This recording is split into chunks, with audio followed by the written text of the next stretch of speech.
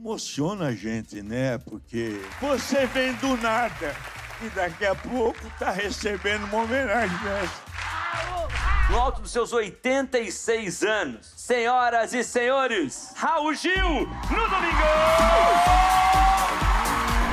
O programa Raul Gil atravessou as décadas em diferentes emissoras e segue no ar 50 anos depois. A vocação do programa Raul Gil sempre foi de abrir a primeira porta. Gugu Liberato. Não é, não é liberato, não é liberato. Gugu Liberato, quando dava seus primeiros passos na televisão, foi jurado de Raul Gil. Desde então, todo o sucesso que Raul conquistou, ele multiplicou. Porque para esse eterno calouro, o palco é para ser compartilhado.